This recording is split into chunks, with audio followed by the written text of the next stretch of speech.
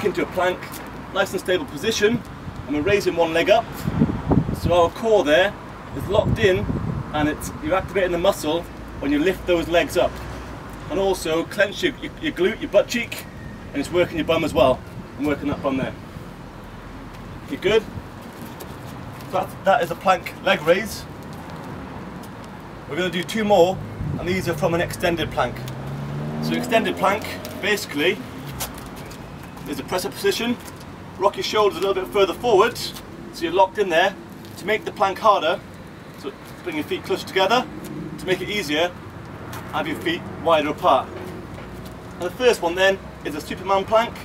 So that nice locked position, you're locked in there, your core's locked, your bum's down, and all we're doing is making that Superman. So one arm forward, your hips don't rotate, your bum stays down there, your body stays locked. Change sides.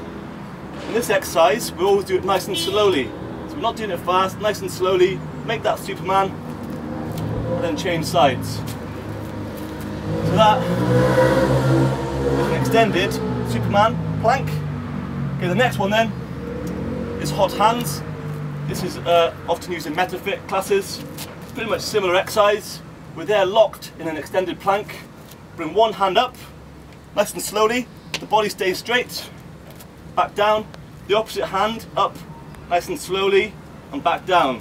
And that's the exercise there. All your core there is locking in, and those muscles are firing, trying to stabilize the body. Okay. The next three exercises are really tough. They're mountain climber, alternate mountain climber, and squat thrust. So the first one is a, is a squat thrust. So your arms are down, body straight, and all we're doing is bringing your knees to the inside of your elbows, but by keeping your bum nice and low.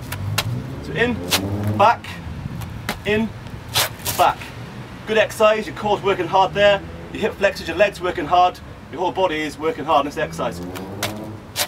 Okay, so that's a squat thrust. We've also got mountain climbers, which some people find very hard to do, and all it is is alternate legs come forward like you're climbing a mountain. Nice and fast, nice and powerful. Your knees should be coming up to the inside of your elbows. That's a mountain climber. Woo! The next one then is an alternate mountain climber. This one here is more for your obliques, internal and external obliques, so sides of your core.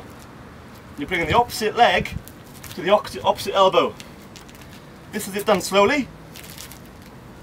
This is done fast.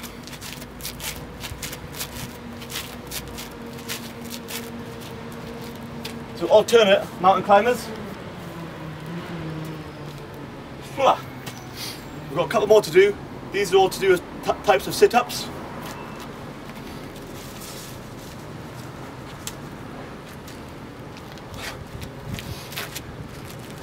The first one then is a slow scissor kick.